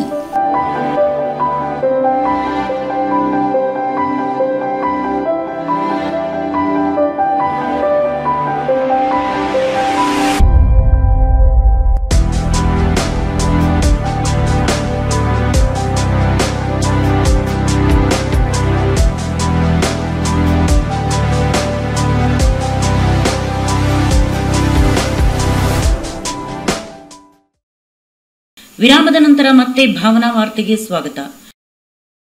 ಕುಂದಾಪುರ ತಾಲೂಕಿನ ರಾಷ್ಟ್ರೀಯ ಹೆದ್ದಾರಿ ಅರವತ್ತಾರರ ಅರಾಟೆ ಸೇತುವೆ ಬಳಿ ಕಾರಿಗೆ ಬಸ್ಸು ಡಿಕ್ಕಿಯಾದ ಪರಿಣಾಮ ಚಾಲಕ ಸ್ಥಳದಲ್ಲಿಯೇ ಮೃತಪಟ್ಟ ಘಟನೆ ಸೋಮವಾರ ರಾತ್ರಿ ಸಂಭವಿಸಿದೆ. ಭಟ್ಕಳ್ ಮೂಸಾ ನಗರದ ನಿವಾಸಿ ದಿವಂಗತ ಅಬೂಬಕರ್ ಸಿದ್ದಿಕ್ವಾ ಅವರ ಪುತ್ರ ಮೊಹಮ್ಮದ್ ನಾಸಿರ್ ಸಿದ್ದಿಕ್ವಾ ಎಂಬುವವರು ಮೃತಪಟ್ಟಿದ್ದಾರೆ. ಕುಟುಂಬದವರೊಂದಿಗೆ ಮಂಗಳೂರಿನಿಂದ ಭಟ್ಕಳಕ್ಕೆ ತೆರಳುತ್ತಿದ್ದ ವೇಳೆ ಕುಂದಾಪುರ ತಾಲೂಕಿನ ರಾಷ್ಟ್ರೀಯ ಹೆದ್ದಾರಿ ಅರವತ್ತಾರರ ರಾಟೆ ಸೇತುವೆ ಸಮೀಪ ಬರುತ್ತಿದ್ದಾಗ ಕಾರಿನಲ್ಲಿ ಶಬ್ದ ಕೇಳಿಸಿದ ಪರಿಣಾಮ ಚಾಲಕ ನಾಸೀರ್ ಕಾರನ್ನು ನಿಲ್ಲಿಸಿ ಪರೀಕ್ಷಿಸಿದ್ದಾರೆ. ನಂತರ ಅವರು ಕಾರಿಗೆ ಹತ್ತುವ ವೇಳೆ ಕುಂದಾಪುರದಿಂದ ಗಂಗೋಳಿ ಕಡೆಗೆ ತೆರಳುತ್ತಿರುವ ಬಸ್ಸೊಂದು ಕಾರಿನ ಬಾಗಿಲಿಗೆ ಡಿಕ್ಕಿ ಹೊಡೆದ ಪರಿಣಾಮ ವ್ಯಕ್ತಿ ಗಂಭೀರ ಗಾಯಗೊಂಡಿದ್ದಾರೆ. ಕೂಡಲೇ ಅವರನ್ನು ಕುಂದಾಪುರದ ಖಾಸಗಿ ಆಸ್ಪತ್ರೆಗೆ ಸಾಗಿಸಲಾಗಿದೆ. ಪರೀಕ್ಷಿಸಿದ ವೈದ್ಯರು ಮೃತಪಟ್ಟಿದ್ದಾರೆ ಎಂದು ತಿಳಿಸಿದ್ದಾರೆ. ಗಂಗೊಳ್ಳಿ ಠಾಣೆಯಲ್ಲಿ ಪ್ರಕರಣ ದಾಖಲಾಗಿದೆ. ಬೈಂದೂರು ಹಾಲು ಉತ್ಪಾದಕರ ಸಹಕಾರ ಸಂಘ ನಿಯಮಿತ ಇದರ ಎರಡ್ ಸಾವಿರದ ಇಪ್ಪತ್ಮೂರು ಇಪ್ಪತ್ನಾಲ್ಕನೇ ಸಾಲಿನ ವಾರ್ಷಿಕ ಸಾಮಾನ್ಯ ಮಹಾಸಭೆ. ಬೈಂದೂರು ಹಾಲು ಉತ್ಪಾದಕರ ಸಹಕಾರ ಸಂಘ ನಿಯಮಿತ ಇದರ ಎರಡ್ ಸಾವಿರದ ಇಪ್ಪತ್ಮೂರು ಇಪ್ಪತ್ನಾಲ್ಕನೇ ಸಾಲಿನ ವಾರ್ಷಿಕ ಸಾಮಾನ್ಯ ಮಹಾಸಭೆ ಮಂಗಳವಾರ ಬೈಂದೂರು ಶ್ರೀ ಸೀತಾರಾಮಚಂದ್ರ ಕಲ್ಯಾಣ ಮಂಟಪದಲ್ಲಿ ನಡೆಯಿತು. ಬೈಂದೂರು ಹಾಲು ಉತ್ಪಾದಕರ ಸಹಕಾರ ಸಂಘ ನಿಯಮಿತ ಇದರ ಅಧ್ಯಕ್ಷ ಬಿ. ನಾರಾಯಣ ರಾವ್ ಎರಡ್ ಸಾವಿರದ ಇಪ್ಪತ್ಮೂರು ಇಪ್ಪತ್ನಾಲ್ಕನೇ ಸಾಲಿನ ವಾರ್ಷಿಕ ಸಾಮಾನ್ಯ ಮಹಾಸಭೆಯ ಅಧ್ಯಕ್ಷತೆ ವಹಿಸಿದ್ದರು. ದಕ್ಷಿಣ ಕನ್ನಡ ಹಾಲು ಉತ್ಪಾದಕರ ಸಹಕಾರಿ ಒಕ್ಕೂಟದ ವಿಸ್ತರಣಾಧಿಕಾರಿ ರಾಜಾರಾಮ್ ಅವರು ಎರಡ್ ಸಾವಿರದ ಇಪ್ಪತ್ಮೂರು ಇಪ್ಪತ್ನಾಲ್ಕನೇ ಸಾಲಿನ ವಾರ್ಷಿಕ ಸಾಮಾನ್ಯ ಮಹಾಸಭೆಯ ಉದ್ದೇಶಿಸಿ ಮಾತನಾಡಿ, ಬೈಂದೂರು ಹಾಲು ಉತ್ಪಾದಕರ ಸಹಕಾರ ಸಂಘ ನಿಯಮಿತ ಕಳೆದ ಮೂವತ್ತೆಂಟು ವರ್ಷಗಳಿಂದ ಅತಿ ಹಾಲು ಸಂಗ್ರಹಣೆಯಲ್ಲಿ ಮುಂಚೂಣಿಯ ಸಾಧನೆ ಬಗ್ಗೆ ಮೆಚ್ಚುಗೆ ವ್ಯಕ್ತಪಡಿಸಿದರು. ಕಳೆದ ಸಾಲಿನಲ್ಲಿ ನಾಲ್ಕು ಲಕ್ಷ ಇಪ್ಪತ್ತೊಂಬತ್ತು ಸಾವಿರದ ಇನ್ನೂರ ಹತ್ತೊಂಬತ್ತು ಲಕ್ಷ ಲಾಭ ಗಳಿಸಿದೆ. ಅದರ ಹಿನ್ನೆಲೆಯಲ್ಲಿ ಸಂಘದ ಸದಸ್ಯರಿಗೆ ಹದಿನೆಂಟು ಶೇಕಡಾ ಡಿವಿಡೆಂಡ್ ನೀಡಲು ನಿರ್ಧರಿಸಲಾಗಿದೆ ಎಂದರು. ಕಳೆದ ಮೂವತ್ತೆಂಟು ವರ್ಷಗಳಿಂದ ಸಂಘದ ಕಾರ್ಯನಿರ್ವಹಣಾಧಿಕಾರಿ ಸೇವೆ ಸಲ್ಲಿಸಿದ ರಾಮಚಂದ್ರ ಅವರಿಗೆ ಬೈಂದೂರು ಹಾಲು ಉತ್ಪಾದಕರ ಸಹಕಾರ ಸಂಘ ನಿಯಮಿತ ಸನ್ಮಾನಿಸಿ ಗೌರವಿಸಲಾಯಿತು. ಬೈಂದೂರು ಹಾಲು ಉತ್ಪಾದಕರ ಸಹಕಾರ ಸಂಘ ನಿಯಮಿತ ಉಪಾಧ್ಯಕ್ಷ ಮಹಾಬಲೇಶ್ವರ ದೇವಡಿಗ, ಸಂಘದ ನಿರ್ದೇಶಕ ಮಂಡಳಿಯ ಸದಸ್ಯರಾದ VT Abraham, Manjappa A, Nityanand S, Dasappa Havaldar, Narayan Shetty Maddodi, Savitri Shetty, Indira Shetty ವೇದಿಕೆಯಲ್ಲಿ ಉಪಸ್ಥಿತರಿದ್ದರು. ಬೈಂದೂರು ಹಾಲು ಉತ್ಪಾದಕರ ಸಹಕಾರ ಸಂಘ ನಿಯಮಿತ ಕಾರ್ಯನಿರ್ವಹಣಾಧಿಕಾರಿ ಲಲಿತಾ ಪೂಜಾರಿ ಎರಡ್ ಸಾವಿರದ ಇಪ್ಪತ್ಮೂರು ಇಪ್ಪತ್ನಾಲ್ಕನೇ ಸಾಲಿನ ವಾರ್ಷಿಕ ವರದಿ ವಾಚಿಸಿದರು. ಉಪನ್ಯಾಸಕ ಗುರುರಾಜ್ ಸ್ವಾಗತಿಸಿ, ಕಾರ್ಯಕ್ರಮ ನಿರೂಪಿಸಿ ವಂದಿಸಿದರು. ಹಾಲು ಪರೀಕ್ಷಕ ನಾಗರತ್ನ ಬೈಂದೂರ್, ಜಗದಾಂಬಾ ಮುದ್ದೋಡಿ ಸಹಕರಿಸಿದರು. ಭಾವನಾ ಟಿವಿಗಾಗಿ ಎಚ್ ಸುಶಾಂತ್ ಬೈಂದೂರ್. ಸೆಪ್ಟೆಂಬರ್ ಇಪ್ಪತ್ತ್ ಮೂರರಂದು ಪುರಸಭೆ ಸಭಾಭವನದಲ್ಲಿ ನಡೆದ ಪೌರ ಕಾರ್ಮಿಕರ ದಿನಾಚರಣೆ. ಗುಂಡ್ಲುಪೇಟೆ ಪಟ್ಟಣದ ಪುರಸಭಾ ಸಭಾಭವನದಲ್ಲಿ ನಡೆದ ಪೌರ ಕಾರ್ಮಿಕರ ದಿನಾಚರಣೆಯ ಕಾರ್ಯಕ್ರಮಕ್ಕೆ ಗಿಡಕ್ಕೆ ನೀರನ್ನು ಹಾಕುವುದರ ಮುಖಾಂತರ ಕ್ಷೇತ್ರದ ಶಾಸಕರಾದ ಎಚ್ ಎಂ ಗಣೇಶ್ ಪ್ರಸಾದ್ ಅವರು ಚಾಲನೆ ನೀಡಿದರು. ನಂತರ ಮಾತನಾಡಿದ ಅವರು, ಪಟ್ಟಣ ಸ್ವಚ್ಛತೆಯಿಂದ ಇರಬೇಕಾದರೆ ಪೌರ ಕಾರ್ಮಿಕರ ಪಾತ್ರ ಮಹತ್ವದ್ದು. ಅಲ್ಲದೆ ಸರ್ಕಾರದಿಂದ ಎಲ್ಲಾ ಸವಲತ್ತುಗಳನ್ನು ಪೌರ ಕಾರ್ಮಿಕರಿಗೆ ನೀಡುತ್ತಿದ್ದು, ಅದನ್ನು ಮುಂದಿನ ದಿನಗಳಲ್ಲಿ ಕಾರ್ಯಗತ ಮಾಡಿಕೊಡುತ್ತೇವೆ ಎಂದು ಭರವಸೆ ನೀಡಿದರು. ಎಲ್ಲ ಮಾತಾಡ್ತಾ ಹೇಳಿದ್ರು ಕುಮಾರ್ ಮಾತಾಡ್ತಾ ವಿಚಾರ ಹೇಳಿದ್ರು ಅನೇಕ ಸ್ವಾಮಿ ಹೇಳಿದ್ರು ನಮ್ಮ ಕುಮಾರ್ ಹೇಳಿದ್ರು ರಮೇಶ್ ಅವ್ರು ಹೇಳಿದ್ರು ಅಧ್ಯಕ್ಷರು ಹೇಳಿದ್ರು ಅದಕ್ಕೆ ನಾನು ವಿಭಿನ್ನವಾಗಿ ಏನು ಹೇಳ್ಬೇಕು ಅಂತ ಬಯಸ್ತೀನಿ ಅಂದರೆ, ಭವಿಷ್ಯ ಪೌರ ಕೂಡ ನಮಗೆ ನಮ್ಮ ತಂದೆ ತಾಯಿ, ಶಿಕ್ಷಕರು ಎಷ್ಟು ಮುಖ್ಯನೋ ಅಷ್ಟೇ ಮುಖ್ಯ ಆಗಿರ್ತಾರೆ. ಯಾಕಂದರೆ ಇವತ್ತು ನನ್ನ ಪ್ರಕಾರ ಗುಂಡುಪೇಟೆ ಏನು ಪಟ್ಟಣದ ಪಟ್ಟಣ ವ್ಯಾಪ್ತಿ ಇದೆ ಈ ಪೌರ ಕಾರ್ಮಿಕರ ಕೆಲಸ ಮಾಡಿರೋದ್ರಿಂದಲೇ ಭವಿಷ್ಯ ಪಟ್ಟ ಕ್ಲೀನಾಗಿ ಕಾಣಿಸ್ತದೆ. ಇವತ್ತೇನು ರೋಡು ಪೈಪ್ಲೈನ್ ಮಾಡೋ ಮುಖಾಂತರ ಎಲ್ಲ ರೋಡ್ನ ಅರ್ಜಿನಲ್ಲಿ ಸೈಡಲ್ಲಿ ಆದರೂ ಅದು ಸ್ವಲ್ಪ ಪಟ್ಟಣ ಸುಂದರ ಮಾಡಿದರೂ ಕೂಡ ನೀವು ಕೆಲಸ ಮಾಡಿ ಏನು ದಿನನಿತ್ಯ ಬರ್ತಕ್ಕಂಥ ಕೆಲಸಗಳನ್ನ ವಿಲೆ ಮಾ ವಿಲೇವಾರಿ ಮಾಡೋದ್ರಿಂದ ಭವಿಷ್ಯ ಗುಂಡುಪೇಟೆ ಇವತ್ತು ಕ್ಲೀನಾಗಿದೆ ಅಂದರೆ ತಪ್ಪಾಗಲ್ಲ. ಅದಕ್ಕೆ ಇವತ್ತೇನು ಸರ್ಕಾರದಿಂದ ನಿಮಗೆ ಬರ್ತಕ್ಕಂಥ ಸೌಲಭ್ಯಗಳನ್ನ ಒದಗಿಸೋ ನಿಟ್ಟಿನಲ್ಲಿ ಖಂಡಿತವಾಗಲು ಪ್ರಯತ್ನ ಪಡ್ತೀವಿ. ಇವತ್ತು ಇಲ್ಲಿ ಬಂದಾಗ ಅವರು ಹಿರಿಯ ಪೌರ ಕಾರ್ಮಿಕರು ಇವತ್ತು ಒಂದು ಮನವಿ ಕೊಟ್ಟಿದ್ದಾರೆ. ಏನು ಅಂದರೆ ನಮಗೆ ನಮಗಿರುವಂಥ ಸಮುದಾಯ ಭವನಕ್ಕೆ ಒಂದು ಡೈನಿಂಗ್ ಅವರು ಮತ್ತು ರೂಮ್ಗಳ ವ್ಯವಸ್ಥೆ ಮಾಡ್ಕೊಳ್ಳಿ ಅಂತ ಖಂಡಿತವಾಗ ಅದಕ್ಕೆ ಸೂಕ್ತವಾದ ಅನುದಾನ ಹಾಕಿ ಮಾಡ್ಕೊಳ್ಳುವಂಥ ಕೆಲಸ ಮಾಡ್ತೀವಿ ಅಂತ ಹೇಳ್ತಾ, ಜೊತೆಗೆ ಇವತ್ತೇನು ನಮ್ಮ ಪುರಸಭೆ ಕಳೆದ ಒಂದೂವರೆ ವರ್ಷದಿಂದ ನಿಷ್ಪತ್ತಿ ಬಂದೆ ಅದು ಆಡಳಿತ ಅಧಿಕಾರಿಗಳ ಕೈಯಲ್ಲಿತ್ತು. ಈಗ ಕಳೆದ ಹದಿನೈದು ದಿನಗಳಿಂದ ಕಾಂಗ್ರೆಸ್ಗೆ ಪರಿವರ್ತನೆಯಾಗಿ ಬೋರ್ಡ್ ಇವತ್ತು ಅಧಿಕಾರ ಹಿಡಿದಿದೆ. ಮುಂದಿನ ದಿನಗಳಲ್ಲಿ ಖಂಡಿತವಾಗ್ಲೂ ನಿಮ್ಮ ಒಂದು ಏನು ಸಮಸ್ಯೆಗಳನ್ನ ನಿಟ್ಟಿನಲ್ಲಿ ಕೆಲಸ ಮಾಡ್ತೀವಿ. ಇವತ್ತು ಏನು ಸರ್ಕಾರದ ಆದೇಶದ ಪ್ರಕಾರ ಪೌರ ಪುರಸಭಾ ಮುಖ್ಯಾಧಿಕಾರಿ ವಸಂತ ಕುಮಾರಿ ಮಾತನಾಡಿ, ಪೌರ ಕಾರ್ಮಿಕರಿಗೆ ಯಾವೆಲ್ಲ ಸವಲತ್ತುಗಳು ಸರ್ಕಾರದಿಂದ ಬರುತ್ತದೆ ಎಂಬುದರ ಬಗ್ಗೆ ಮಾಹಿತಿಯನ್ನು ಎಳೆ ಎಳೆಯಾಗಿ ತಿಳಿಸಿಕೊಟ್ಟರು. ಅವರಿಗೆ ಇಪ್ಪತ್ತೊಂದು ದಿನಗಳ ರಜಾ ವೇತನವನ್ನ, ವಿಶೇಷ ರಜಾ ವೇತನವನ್ನ ಕೂಡ ನಾವು ನೀಡ್ತಾ ಬಂದಿದ್ದೀವಿ ಇದುವರೆಗೂ ಕೂಡ. ಪ್ರತಿ ವರ್ಷ ಇವರಿಗೆ ಹದಿನೈದು ದಿವಸಗಳು ರಜಾ ನಗದೀಕರಣ ಸೌಲಭ್ಯ ಕೂಡ ಇರುತ್ತೆ. ಹಾಗೂ ಪ್ರತಿದಿನ ಇವರಿಗೆ ಪೌರ ಕಾರ್ಮಿಕರಿಗೆ ಬೆಳಗಿನ ಉಪಹಾರ ಮತ್ತು ಮೊಟ್ಟೆಯನ್ನು ಕೊಡುವಂತಹ ಒಂದು ಸೌಲಭ್ಯ ಕೂಡ ಇದೆ ಸರ್ಕಾರದ ವತಿಯಿಂದ. ಹಾಗೂ ಇವರಿಗೆ ಆಗಿಂದಾಗೆ ಇವರ ಒಂದು ಆರೋಗ್ಯದ ಹಿತದೃಷ್ಟಿಯಿಂದ ಇವರಿಗೆ ಮೆಡಿಕಲ್ ಚೆಕಪ್ ಅಂದ್ರೆ ರೆಗ್ಯುಲರ್ ಆಗಿ ಮೂರು ತಿಂಗಳಿಗೊಮ್ಮೆ ಮಾಡಿಸ್ತಾ ಬಂದಿದ್ವಿ. ಹಾಗೆ ಮಾಸ್ಟರ್ ಹೆಲ್ತ್ ಚೆಕಪ್ ಕೂಡ ಮಾಡಿಸ್ಬೇಕು ಅನ್ನುವಂತಹ ಉದ್ದೇಶ ಇದೆ. ಎಷ್ಟೋ ಜನ ತಮ್ಮ ಅನಾರೋಗ್ಯಕರ ಜೀವನ ಶೈಲಿಯಿಂದ ಕಾಯಿಲೆಗಳಿಗೆ ತುತ್ತಾಗಂಥದ್ದು. ಎಷ್ಟೋ ಜನ ಈಗ ಒಂದು ವರ್ಷದಲ್ಲಿ ಇಬ್ರು ಮರಣ ಹೊಂದಿದ್ದಾರೆ. ಇದು ಅತ್ಯಂತ ದುಃಖಕರವಾದ ಸಂಗತಿಯಾಗಿದೆ. ಅದರಿಂದ ಅವರಿಗೆ ಉತ್ತಮ ಆರೋಗ್ಯಕರ ಅಭ್ಯಾಸಗಳು ಮತ್ತೆ ದುಶ್ಚಟಗಳಿಗೆ ಬಲಿಯಾಗಬೇಡಿ ಅನ್ನೋ ದೃಷ್ಟಿಯಿಂದ ಈಗ ಮಾಸ್ಟರ್ ಹೆಲ್ತ್ ಚೆಕಪ್ ಮಾಡುವಂತಹ ಉದ್ದೇಶವನ್ನ ಹೊಂದಿದ್ದೇವೆ. ಅವರಿಗೆ ಖಾಸಗಿ ಒಂದು ಚಿಕಿತ್ಸಾಲಯದಲ್ಲಿ ಅವರಿಗೆ ಚೆಕಪ್ ಮಾಡಿಸುವಂತಹ ಉದ್ದೇಶ ಇದೆ. ಈ ವಾರದಲ್ಲೇ ಖಂಡಿತ ಅದನ್ನ ಮಾಡಿಸೋದಕ್ಕೆ ನಾವು ವ್ಯವಸ್ಥೆ ಮಾಡಿದ್ದೀವಿ ಅಂತ ಹೇಳಿ ಇಷ್ಟಪಡ್ತೇನೆ. ಶಾಸಕರು ಪೌರ ಕಾರ್ಮಿಕರಿಗೆ ಸೇಫ್ಟಿ ಕಿಟ್ಗಳನ್ನು ಮತ್ತು ಕುಕ್ಕರ್ಗಳನ್ನು ನೀಡಿದರು. ಈ ಸಮಯದಲ್ಲಿ ಎಲ್ಲಾ ಪೌರ ಕಾರ್ಮಿಕರುಗಳಿಗೆ ಸನ್ಮಾನ ಕಾರ್ಯಕ್ರಮವನ್ನು ಏರ್ಪಡಿಸಿದ್ದರು. ಕಾರ್ಯಕ್ರಮದಲ್ಲಿ ಮಾಜಿ ಅಧ್ಯಕ್ಷರಾದ ಎಚ್ ಎಸ್ ನಂಜಪ್ಪ, ಪುರಸಭಾ ಅಧ್ಯಕ್ಷ ಕಿರಣ್ ಗೌಡ, ಉಪಾಧ್ಯಕ್ಷರಾದ ಹಿಂದ್ ಕೌಸರ್ ಹಾಗೂ ಸದಸ್ಯರುಗಳು ಸೇರಿದಂತೆ ಪುರಸಭೆಯ ಎಲ್ಲಾ ನೌಕರರು ಹಾಗೂ ಪೌರ ಕಾರ್ಮಿಕರುಗಳು ಉಪಸ್ಥಿತರಿದ್ದರು. ಭಾವನಾ ಟಿವಿಗಾಗಿ ಸದಾನಂದ ಕನ್ನೇಗಾಲ ಗುಂಡ್ಲುಪೇಟೆ ಗ್ರಾಮೀಣ ಭಾಗದ ಮಣ್ಣಿನ ಸೊಗಡಿನ ಪರಿಮಳವನ್ನು ಮುಂದಿನ ಪೀಳಿಗೆಗೆ ತಿಳಿಸುವ ಕೆಲಸವನ್ನು ಮಾಡುವ ಕೆಸರದ ಗುಬ್ಬಲು ಕಾರ್ಯಕ್ರಮ ಅರ್ಥಪೂರ್ಣ ಎಂದು ಮುಂಡ್ಕೂರು ದುರ್ಗಾಪರಮೇಶ್ವರಿ ದೇವಸ್ಥಾನದ ಅರ್ಚಕ ಮಧ್ವಪತಿ ಆಚಾರ್ಯ ಹೇಳಿದರು. ಅವರು ಮುಂಡ್ಕೂರು ಮುಲ್ಲಡ್ಕ, ಇನ್ನಾ ಗ್ರಾಮಸ್ಥರಿಗಾಗಿ ಇನ್ನಾ ಗ್ರಾಮಸ್ಥರಿಗಾಗಿ ನಡೆದ ಕೆಸರದ ಗಬ್ಬಲು ಕಾರ್ಯಕ್ರಮದಲ್ಲಿ ಮಾತನಾಡಿದರು. ಕಾರ್ಯಕ್ರಮವನ್ನು ಉದ್ಘಾಟಿಸಿದ ಶ್ರೀ ದುರ್ಗಾಪರಮೇಶ್ವರಿ ದೇವಸ್ಥಾನದ ವ್ಯವಸ್ಥಾಪನಾ ಸಮಿತಿಯ ಅಧ್ಯಕ್ಷ ಸುರೇಂದ್ರ ಶೆಟ್ಟಿ ಮಾತನಾಡಿ, ಸಮಾಜಮುಖಿ ಚಿಂತನೆಗಳ ಮೂಲಕ ಮನೆ ಮಾತಾಗಿರುವ ನಮ್ಮ ಫ್ರೆಂಡ್ಸ್ ಗ್ರಾಮೀಣ ಕ್ರೀಡೆಗಳನ್ನು ಸಂಘಟಿಸುತ್ತಿರುವುದು ಹೆಮ್ಮೆಯ ವಿಚಾರ ಎಂದರು. ಇದೇ ಸಂದರ್ಭದಲ್ಲಿ ಕಂಬಳ ಕ್ಷೇತ್ರದ ಸಾಧಕ ಯಜಮಾನ ಬೋಳದ ಗುತ್ತು ಸತೀಶ್ ಶೆಟ್ಟಿ ಅವರ ಚಾಂಪಿಯನ್ ಕೋಣಗಳಾದ ಧೋನಿ ಹಾಗೂ ಬೊಲ್ಲಗೆ ಸನ್ಮಾನಿಸಲಾಯಿತು. ಮುಲ್ಲಡ್ಕ ಪರಾರಿ ರವೀಂದ್ರ ಶೆಟ್ಟಿ ಅವರ ಕೋಣಗಳನ್ನು ಗೌರವಿಸಲಾಯಿತು. ನಮ್ಮ ಫ್ರೆಂಡ್ಸ್ ಮುಂಡ್ಕೂರು ಅಧ್ಯಕ್ಷ ಅರುಣ್ ರಾವ್ ಸಭೆಯ ಅಧ್ಯಕ್ಷತೆ ವಹಿಸಿದ್ದರು. ಈ ಸಂದರ್ಭದಲ್ಲಿ ಮುನಿಯಾಲು ಉದಯ್ ಕುಮಾರ್ ಶೆಟ್ಟಿ, ಮುಲ್ಲಡ್ಕ ಪರಾರಿ ರವೀಂದ್ರ ಶೆಟ್ಟಿ, ಮುಂಡ್ಕೂರ್ ಮುಂಡ್ಕೂರ್ ಗ್ರಾಮ ಪಂಚಾಯಿತಿ ಅಧ್ಯಕ್ಷ ದೇವಪ್ಪ ಪಳಿಗ, ಜಿನ್ನೋಜಿ ರಾವ್ ಜಯರಾಮ್ ಕುಲಾಲ್, ಬೋಳದ ಗುತ್ತು ಸಂತೋಷ್ ಶೆಟ್ಟಿ, ಪ್ರಕಾಶ್ ಶೆಟ್ಟಿ ಕರ್ನಿರೆ, ಮುಂಡ್ಕೂರ್ ಶ್ರೀ ದುರ್ಗಾಪರಮೇಶ್ವರಿ ದೇವಸ್ಥಾನದ ವ್ಯವಸ್ಥಾಪನಾ ಸಮಿತಿಯ ಸದಸ್ಯೆ ಸುಜಾತ ಸುಬೋಧ್ ಶೆಟ್ಟಿ, ಬೋಳದ ಗುತ್ತು ಸಂತೋಷ್ ಶೆಟ್ಟಿ ಶರತ್ ಶೆಟ್ಟಿ, ಉದಯ್ ಹೆಗಡೆ ದುರ್ಗಾಪರಮೇಶ್ವರಿ ದೇವಸ್ಥಾನದ ವ್ಯವಸ್ಥಾಪನಾ ಸಮಿತಿ ಸದಸ್ಯ ಶೇಖರ್ ಶೆಟ್ಟಿ, ಸುಧಾಕರ್ ಕುಲಾಲ್, ಉದಯ್ ಮುಂಡ್ಕೂರು, ಆನಂದ್ ಸಾಲ್ಯಾನ್, ಅರುಣ್ ಕುಮಾರ್, ನಿಶಾಂತ್ ಗುರುತಿಲಾತ್ ರಮೇಶ್ ಪೂಜಾರಿ, ನವನೀತ್ ಅಮೀನ್, ಸುರೇಶ್ ಪೂಜಾರಿ, ಪ್ರಮೋದ್ ಕಜೆ ಉಪಸ್ಥಿತರಿದ್ದರು. ನಮ್ಮ ಫ್ರೆಂಡ್ಸ್ ಗೌರವ ಸಲಹೆಗಾರ ಉದಯ್ ಮುಂಡ್ಕೂರ್ ಸ್ವಾಗತಿಸಿ ಶರತ್ ಶೆಟ್ಟಿ ಸಂಕಲಕರಿಯ ವಂದಿಸಿದರು.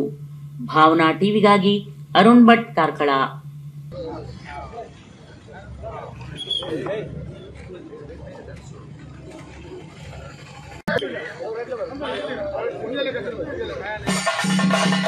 ದೇವಸ್ಥಾನ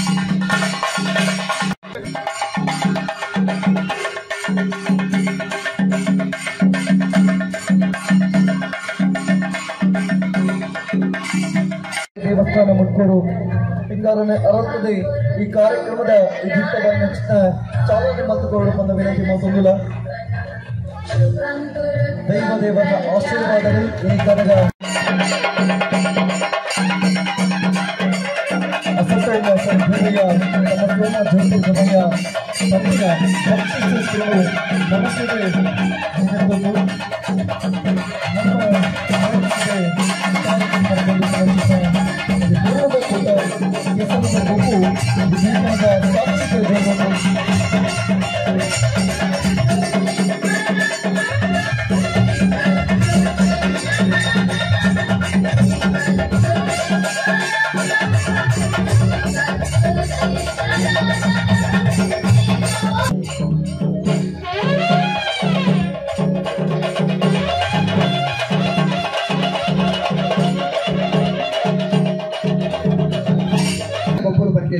ಪಂಚಾಯತಿನ ಕಾರ್ಯಕ್ರಮವಾಗಿ ಒಂದು ವೇದಿಕೆ ಇರ್ತದೆ ನಡ್ಕೊಂಡಿಲ್ಲ ಎಂಚಿನ ಅಂಗಡಿಗೆ ನಮ್ಮ ಫ್ರೆಂಡ್ಸ್ ವಾರ್ಷಿಕೋತ್ಸವ ಮಲ್ಪಡುತ್ತೇವೆ ಈ ನಿಟ್ಟಿಡು ಆನಂದ ಶಾಲೆಯನ್ನು ಸ್ಥಾಪಕರು. ಹಾಗೆಯೇ ಬೈದಿನ ಬೀನೇರು ನಮ್ಮ ಗ್ರಾಮದ ಸಮಸ್ತ ಜನರಿಗೆ ಮಾತು ಮನಸಾರ ನಂಬಿ ಸಾಲು ಇನಿ ನಮ್ಮ ಫ್ರೆಂಡ್ಸ್ ರಿಜಿಸ್ಟರ್ ಮುಂಕೋಲು. ಮುಕುಲು ಮೊಕಲ್ನ ವಾರ್ಷಿಕೋತ್ಸವದ ಅಂಗವಾದ ಕೆಸರಡು ಅಗ್ರಗಣ್ಯ ಹೋದುಂಟು ಈ ಮಣ್ಣದ ಪೆರ್ಮೆಗೆ ಸರಿಯಾದ ನಾವೆಡ್ದ ಮಲ್ಲ ವಿಭಾಗಗಳು ಬೇರೆ ಬೇರೆ ಆದಿ ವರ್ಷ, ಚಾಂಪಿಯನ್ ಪಟ್ಟಲು ಅಲಂಕರಿಸಾಯಿನ ಪುಗರ್ತೆ ಕಾರಣವಾಯಿನ ಬೋಳದ ಗೊತ್ತು. ಸಂತೋಷ್ ಶೆಟ್ಟಿ, ಸತೀಶ್ ಶೆಟ್ಟಿ, ಜಗದೀಶ್ ಶೆಟ್ಟಿ.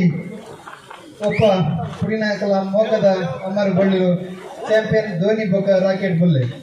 ಈ ಜೋಡಿ ಪ್ರಪ್ರಥಮವಾದ ಬೆಂಗಳೂರು ರಾಜಪುಡಿ ಮಾನಾದಿಗಿಡ ಪಡೆದರು ರಸ್ತೆ ಅಪಘಾತದಲ್ಲಿ ನಿಧನರಾದ ಮಾಡರಹಳ್ಳಿ ಪ್ರಕಾಶ್ ರವರ ಮನೆಗೆ ಭೇಟಿ ನೀಡಿದ ಎಚ್ಎಂ ಗಣೇಶ್ ಪ್ರಸಾದ್. ಗುಂಡ್ಲುಪೇಟೆ ತಾಲೂಕಿನ ಮಾಡ್ರಹಳ್ಳಿ ಗ್ರಾಮದ ಪ್ರಕಾಶ್ ಎಂಬುವರು ರಸ್ತೆ ಅಪಘಾತದಲ್ಲಿ ನಿಧನರಾದ ಹಿನ್ನೆಲೆಯಲ್ಲಿ ಅವರ ಕುಟುಂಬಸ್ಥರಿಗೆ ಕ್ಷೇತ್ರದ ಶಾಸಕರಾದ ಗಣೇಶ್ ಪ್ರಸಾದ್ ರವರು ಸಾಂತ್ವನವನ್ನು ಎಚ್ಎಸ್ ಮಹದೇವ್ ಪ್ರಸಾದ್ ರವರ ಟ್ರಸ್ಟ್ ವತಿಯಿಂದ ಧನ ಸಹಾಯವನ್ನು ಮಾಡಿದರು. ಈ ಸಂದರ್ಭದಲ್ಲಿ ಯುವ ಮುಖಂಡರುಗಳಾದ ಸುಭಾಷ್, ನವೀನ್, ಚಂದ್ರು, ಮರಿಸ್ವಾಮಿ, ಶಿವರಾಮು, ಶಿವಣ್ಣ, ಗೋಪಾಲ್ ರಾಜು, ಶಿವಣ್ಣ, ಮಾಜಿ ಗ್ರಾಮ ಪಂಚಾಯಿತಿ ಸದಸ್ಯ ಮಹದೇವಪ್ಪ ಸೇರಿದಂತೆ ಗ್ರಾಮದ ಮುಖಂಡರುಗಳು, ಕಾರ್ಯಕರ್ತರುಗಳು, ಕುಟುಂಬಸ್ಥರು ಇದ್ದರೆ ಇದ್ದರು. ಭಾವನಾ ಟಿವಿಗಾಗಿ ಸದಾನಂದ ಕನ್ನೇಗಾಲ ಗುಂಡ್ಲುಪೇಟೆ. ಇಲ್ಲಿಗೆ ಭಾವನಾ ವಾರ್ತೆ ಮುಕ್ತಾಯವಾಯಿತು. ಮತ್ತೆ ಭಾವನಾ ವಾರ್ತೆಯೊಂದಿಗೆ ಭೇಟಿಯಾಗೋಣ. ಅಲ್ಲಿಯವರೆಗೂ ನಮಸ್ಕಾರ. ನಿರಂತರ ರಂಜನೆ ನಿಮ್ಮೂರಿನ ಸುದ್ದಿ ಮನೆ ನೋಡ್ತಾ ಇರಿ ಭಾವನಾ ಟಿವಿ. ಇದು ನಿಮ್ಮ ವಾಹಿನಿ.